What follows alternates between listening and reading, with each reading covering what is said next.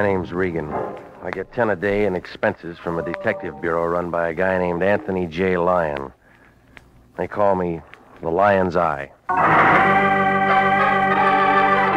Jack Webb is Jeff Regan, investigator, as CBS offers you hard boiled action and mystery and thrilling adventure in tonight's story of The Lawyer and the Lady.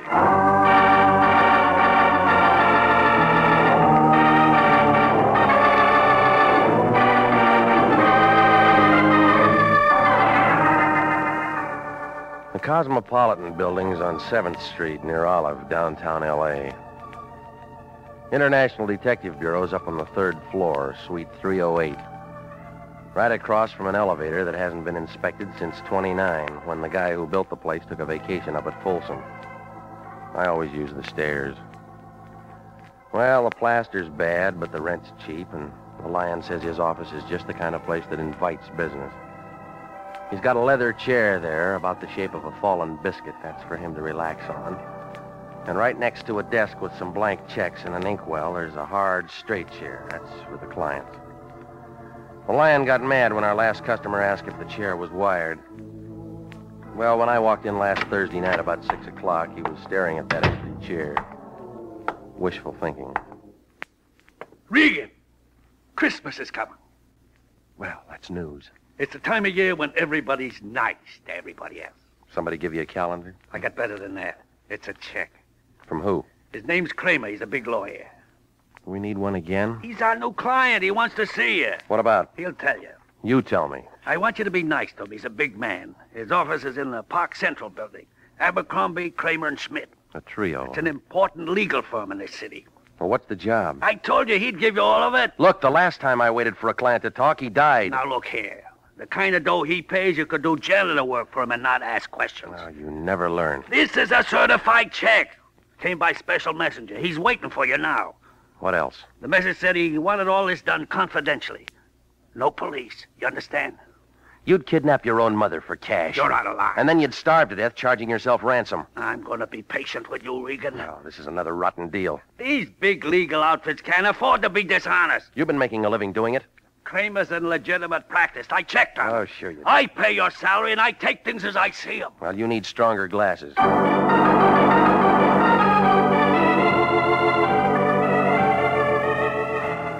Well, I left him sitting there holding the check up to the light. He had both arms above his head. He reminded me of a two-armed slot machine.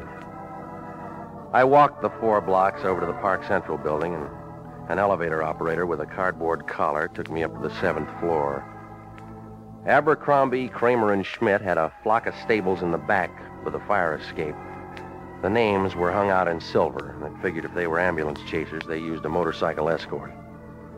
I opened the door and stepped into a green carpet that needed mowing. Then I heard a noise at the deep end where the trout stream should have been. She had hair the color of smoke. And the rest of her spiraled up to match.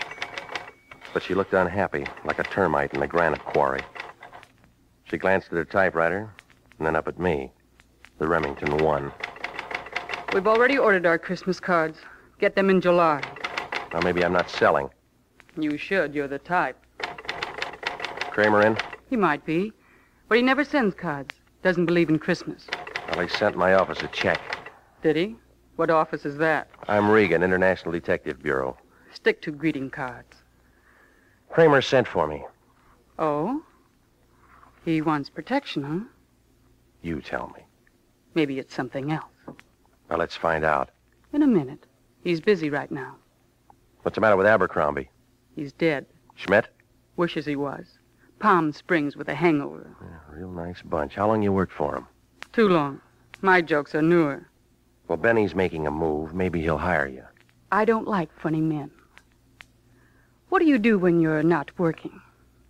All depends on who I'm with. Thought maybe you were antisocial. That's Kramer's. I was ahead of her trying the door, but it was locked from the inside. She fumbled around on the desk and finally brought out a key. Kramer was sitting at his desk holding onto the front of his shoulder. His face was white and he wasn't feeling too good. Fire escape. He got through there. Emmy called Dr. Sorensen. This wouldn't look good in the papers. No police. That's a big order. Well, That's a big hole in his shoulder.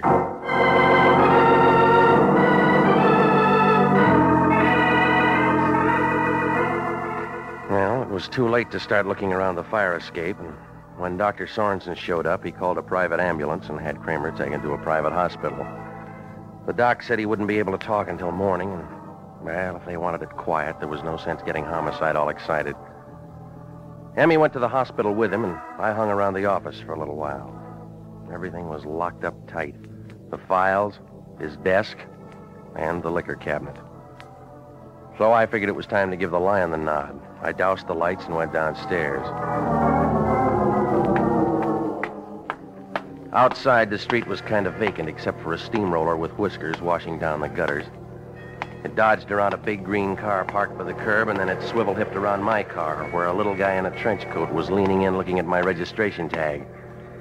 When I tapped him on the shoulder, he looked confused, like he was trying to catch a cyclone in a paper bag. Huh? You uh, looking for something? Oh, no, no. No, just, uh, Looking. yeah, that's right. Uh, looking. Come on, blow your nose. A little cold, that's all. Tell me about it before your throat gets sore. I told you, just looking. Car belongs to the finance company in case you got extra keys. No, no, no, no, no, no, Pilgrim. Never borrowed a buggy in my life. You can't drive. How'd you guess? Come on, you. Let's pour it out. Sure, sure. Uh, you the guy? What guy? Guy says there. Regan. I might be. You want to make a mistake. Deal, will you? Somebody wants to see you. Who? Guy. Well, I don't know him. Yeah. Guy says please. Reads Emily Post. That's right. Friend of mine. Weighs 285 pounds. He's across the street in the ice cream parlor. Last stool on the end. Well, I'll tell you, somebody else is carrying my books home today. Oh, he wouldn't care. Big man. Gonna see him? Can't he walk? He Says if you argue, mention the name Kramer. Now you gonna see him? How can I miss? He weighs 285 pounds.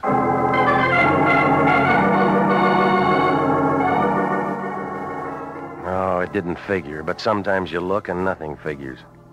Kramer had taken one in the shoulder, and before he'd been able to talk, the lights had gone out, and he wound up in a hospital. Well, somebody had an angle, and maybe it was the guy across the street. I found him sitting all alone, about 300 pounds of beard in a plaid coat. He was picking all the strawberries out of his ice cream. Hey, you set for me? Mm-hmm. Regan, You got it. have something. Great banana split here. Four kinds of ice cream. I'm on a diet. Oh, I never worry about things like that. It's a mistake. You only live once. Know me? You got a name? Spec Jameson. You know me now? You got a grudge with Kramer? Yeah, You shot at him from the fire escape I did. When? half hour ago? Anybody see me? No? That's good. How'd I do? He got it in the shoulder. He'll live. Up to that point, it could have been me. Well, it's going to make a good story for the police. For anybody. I'm clean as a whistle. You sure you won't have something? Now, look, I got a date, Fatso. Let's fan this out. Oh, sure, sure. How about Kramer? Oh, yeah. Um, where'd you say he was? Hospital. Oh, yeah, yeah. He hire you for protection? Maybe.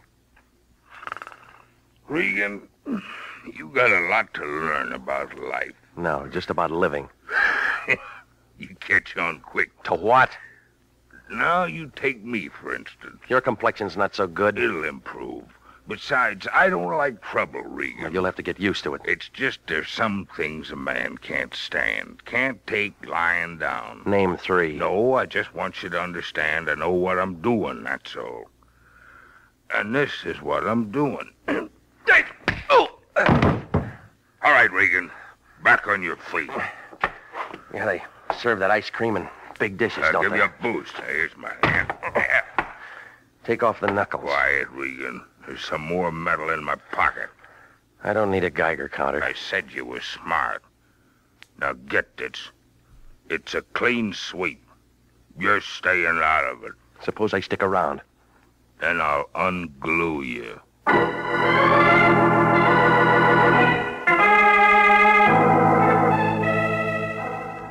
I left him sitting there with his ice cream. Wouldn't have done any good to trade fists with him. But there was something in the way he talked about Kramer and the shooting that made it a Sunday puzzle. I found a phone booth and put in a call to the Lion. Regan, where you been? You see Kramer? What'd he say? Well, now, which one do you want first? What about Kramer? He was all shot up. Target practice? Some guy with a grudge. If he plays like that, yell cop. Look, they'll want to see you. No police, remember? What are you talking about? Another bum client. Why do these things always happen to me? Because your palm is faster than your brain. Every case has it. Look, this is a three-ring circus, and we haven't even got any peanuts. Well, maybe I should have found out what he wanted. Oh, you say that now. Who's got the grudge? A sweet tooth calls himself Spec Jameson. Spec, where's he fit in? He wouldn't stand still to show me his tea leaves. You talked to him? We met. When people start asking questions, we don't want to be stuck without any answers. You get out and run down some dope on this man Spec. What are you gonna do? Don't worry, I'll take care of my end. Yeah, most people do. Well, this job had more ups and downs than the Berlin airlift. I turned the phone book over to some drunk with a beer breath, and I walked over a couple of blocks to the morgue. I mean, the one where they keep dead newspapers. I got a friend who works in the file room of the L.A. Times. After 15 years of it, he's got about as much adrenaline as an old magazine in the attic. Uh, nope. No, I never heard of a Spec Jameson. Probably a nickname, isn't it? You know, Spec, short for glasses. Yeah, I caught the drift. uh, thought I was going to say spectacles, didn't you? Hey, look, let's try this for size. now. yeah. Big fat guy, but always hungry. Uh, mention any friend? Kramer, and he wasn't a friend. Uh, Spec Adams in last Thursday's paper. What'd he do? Executed the same day in Sing Sing. Spec Jameson. uh, uh, uh-huh. Released from Quentin day before yesterday. Let me see. Huh? Well, that's all it says. Served full 10-year sentence, continuous on four counts. Somebody threw a book at him. Yeah, maybe. Uh, tell you in a minute. Uh, try December 38. Oh, this case would have come up in November. Yeah, yeah, here we are. Uh-huh. Yeah, you take these. Yeah. Hey, look at the funny skirts. Short, weren't they? Hey, here's one. War impossible, says Look, Senator. let's stick to the subject. Um, uh, November 17th, Jameson appeal denied. Read it, you? Mm, a lot of stuff. He was in the rackets. Go on. Judge said unusual completeness of prosecution's case made retrial impossible. Mm-hmm. Continuous sentence upheld. Who was the judge? Uh, old Govern, he's dead. Oh, here's what you want. Special Prosecutor Joseph W. Kramer. Yeah. Uh, excuse me. Uh-huh. Joseph W. Kramer was brilliant, Hello? relentless work for the forces of good in Los Angeles. Uh, hey, it's, it's for you. Okay, thanks. Yeah? Mr. Regan, Yeah. this is Emmy, Mr. Kramer's secretary. Are you always this hard to find? Well, that depends on where you look. Mr. Kramer wants to see you. You talking now? He's feeling much better. The doctor said it was just a flesh wound. What kind? 38. All right. Where's the hospital? It's a little place on Hawthorne. Mrs. Kramer will show you. Mm-hmm. If you don't mind going by the Biltmore and picking her up, I haven't got my car. use Mr. Kramer's. It's in the garage there. Is she expecting me? I phoned. Fifteen minutes. Good. He wants to thank you for what you did. Well, what'd I do? Kept the police out of it. It's his show, but it may close. What do you mean? I ran into Spec Jameson. Oh? Now, you still want the police out of it? I don't know. Mr. Kramer will tell you when he sees you. Mm-hmm. You sound like you're changing jobs.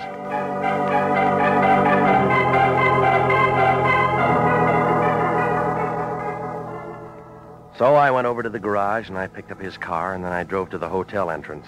While I was arguing with the cab driver, Mrs. Kramer walked out. 45, a little tired around the eyes. She was wearing a white sheet, double bed size, under a mink coat that must have set somebody back $10,000. She didn't look like a wife that Kramer'd have. I hope this isn't inconveniencing you. No, it's not. Are you sure my husband's all right? He's talking, according to Emmy. Emmy. She's there with him. She's his secretary. It's funny, isn't it? I'm his wife, yet she spends more time with him than I do. Well, that's business. Even now. When he's been hurt, she's there first. She was there when it happened. Of course, I guess I... Oh, never mind. You're a detective, aren't you? Yeah, that's right. Mr. Kramer hired you to protect him from that Jameson. I never found out. Maybe. I've been so worried about him. At the trial, Jameson said he'd kill him if it was the last thing he ever did. You know, I always thought it was taking an awful, awful... Hey, hey, hey, take it easy, lady. You know the story. Emmy, She's young, pretty. I have to spend my time at bridge parties. does it help? No. How long you been married to him? Next month, 18 years. I don't look the same way anymore. Neither does he. Funny what life does to you, isn't it? I was his secretary. Once.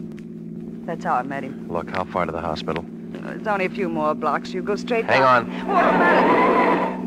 Who do you know that drives a big green Nash? No one. Well, he knows us. Been following us since we left the hotel. What do you suppose? Is he still with us? Yes.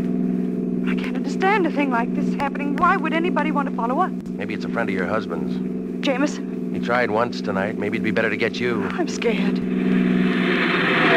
right, come on. Come on, get out, get out. Mr. Regan! The green Nash had been tailing me. I shook it on the last corner. There are lots of them, but it might have been the same one that was parked by my car downtown earlier. Oh, it made no sense, but I wasn't taking any chances. Only before I could get the door open, the Nash came sliding around the other side of the block. I shoved Mrs. Kramer into the floorboards and slid into the room. A lot of glass got broken fast. By the time I could separate my teeth from the clutch pedal, the car had gone. I shook Mrs. Kramer, but she didn't shake. She was dead. You are listening to the story of the lawyer and the lady, tonight's adventure with Jeff Regan, investigator.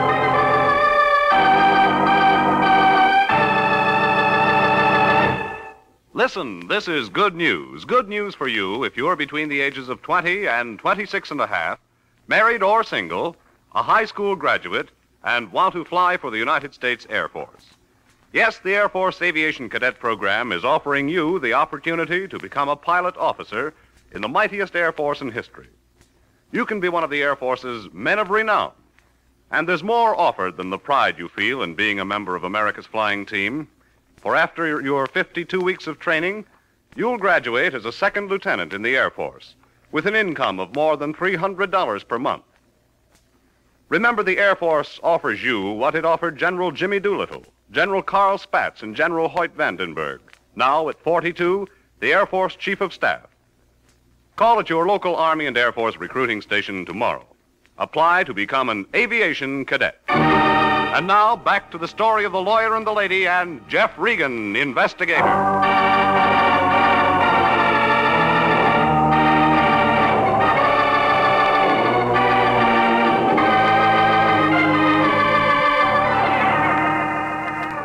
Well, it all made sense, like a Ubangi with a piccolo.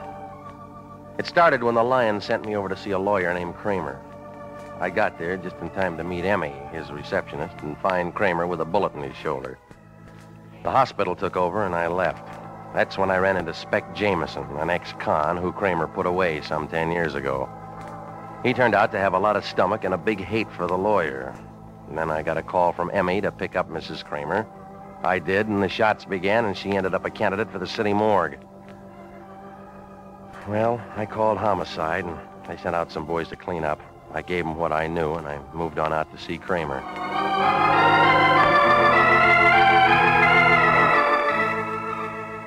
The Angels of Mercy Hospital turned out to be a private place off Hawthorne.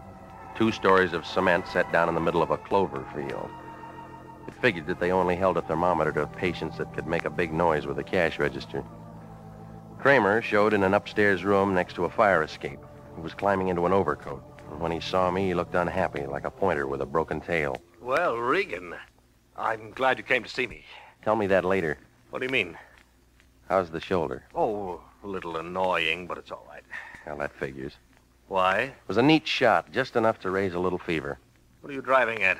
Give it a chance. It'll sink in. Come on, let's get out of here. All right? Picked up my wife downtown? Yeah. Good, good. She worries a lot. You know, uh, tell you what, Regan, I'll send a check around in the morning for another hundred. That all right? Make it a thousand. What's that for? Insurance against guys like you. Never mind that, Regan. Why didn't you tell the lion what you wanted in the first place? I didn't know. I got another story. Well, you're wrong. You knew Spec Jameson was out. No reason I should tell you that. I'm rehearsing a witness, that's all. What? Yeah, now let's hear what you did to him. Nothing, not a thing. He can tell you that. In 38, you got the book thrown at him. He was a public enemy. So's Smog. Regan. A man in my position. Maybe that's it. Maybe you're the kind of shyster that builds a rap on convictions. I'll Grant you had helped. if That's all you want. So he hated you. He made threats. What cooled him off? Ten thousand dollars. When? After I discovered he meant business, I sent someone with the money. Figured Jameson forget everything for cash. Men of his stripe always will. Well, you made a mistake. Everybody does sometimes. I guess Jameson is still using his gun. Yeah. But my shoulder will mend. Your wife won't. What do you mean? She's dead. No. Homicide will tell you different. I'd better go down to see them. Yeah. That bullet was meant for me. Yeah, like you said, everybody makes mistakes.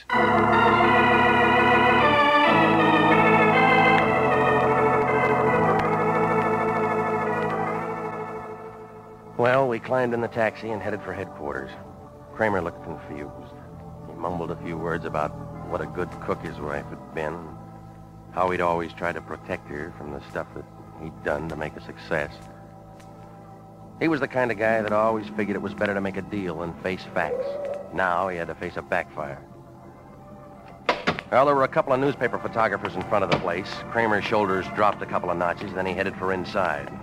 I started in behind him, but an arm stopped me. Regan, come here. What are you doing out of bed? Sit up. Get back in the taxi. Look out, that meter will bite you. I'm not paying the fare. Downtown driver. Okay, Mac. You know the cops are gonna love you for this. They can hear your side of it later. Sure, and you'll stand behind me. Now, Regan, I'll tell you how I figure this. She gets killed. It was a mistake. Oh, now that takes a big brain. Kramer's got enemies. Said Emma enemy did in the wife Regan to get Kramer. That's the last chapter. And we write the next one. Turn in said enemy and we'll pick us up a nice fat reward. Homicide started with Jameson already. They're gonna be surprised. What do you mean? He didn't do it. How do you know? I look into things. That's how I know. Well, all right, big shot, open it up. It goes this way. Fifteen minutes after I talk to you, I put a call into the cops Saying what? that I don't like my operator being threatened by ex-cons. What happens? You tell me. The police themselves take Jameson out of circulation. He was locked up before Mrs. Kramer got fogged. He's sitting in the Hollywood station house right now with a smile on his face. Talking? No, eating ice cream.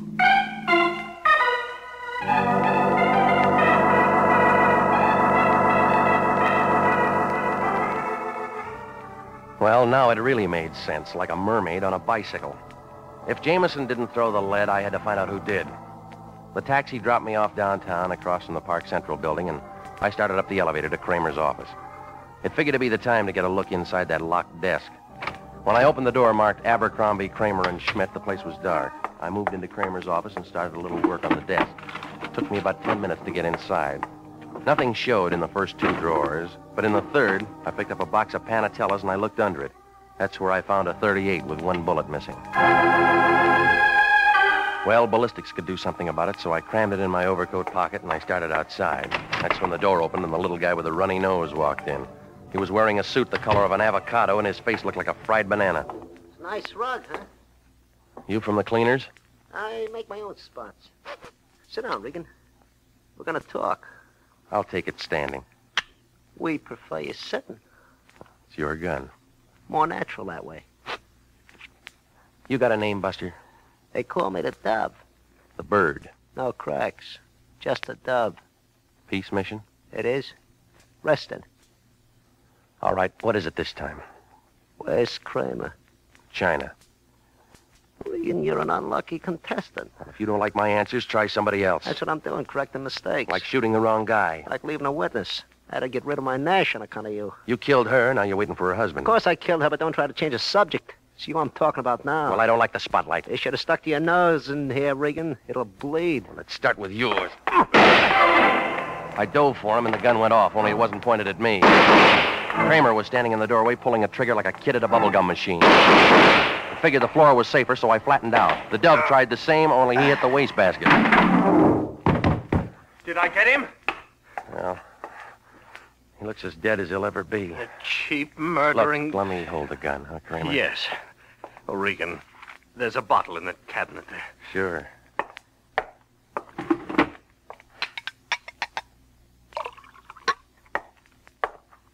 Here you are. Thank you. Now, what are you going to do now?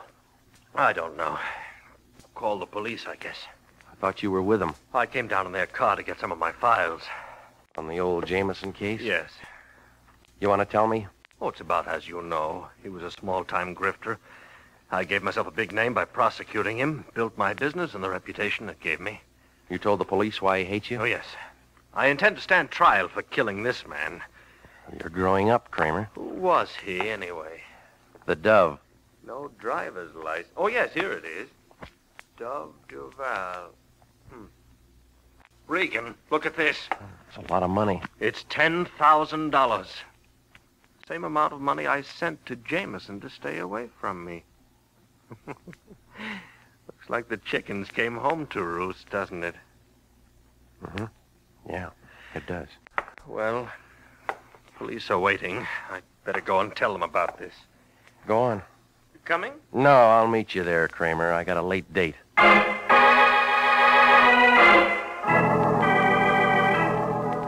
I gave the boys downstairs the high sign, then I moved out of there fast. I found Emmy's place just off Normandie.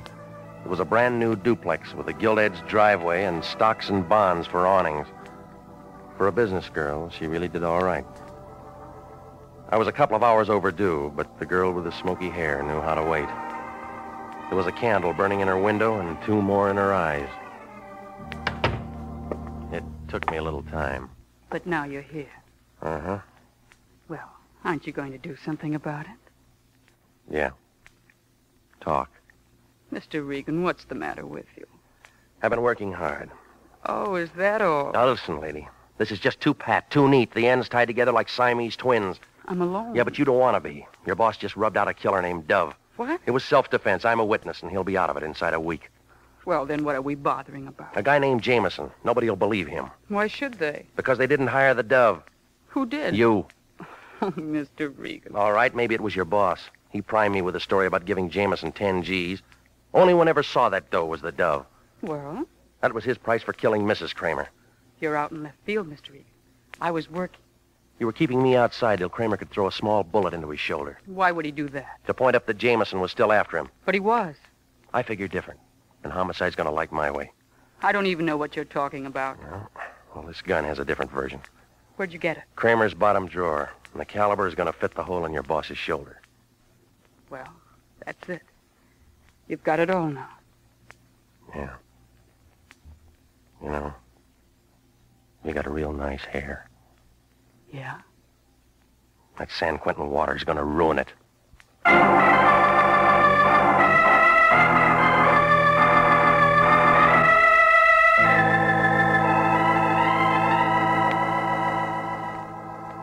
Well, the whole thing came apart like a paper hat in a shower bath. Seems that when Jameson got out of prison and threatened Kramer, the lawyer and his secretary figured that it was a good time to get rid of the wife. I suppose she interfered with their skiing or something. Anyway, they hired the Dove to do the job and then got rid of him just so he couldn't ever come to bat for the fall guy, Jameson. Yeah, they had a perfect frame fixed for him, and I was picked to decorate the edges, only it didn't work. Uh, everybody was positive about this one. Kramer knew he was going to win. Emmy knew she was in for a big cut, and the lion knew he was going to collect a fat fee. They should have all figured it. This is the year for upsets.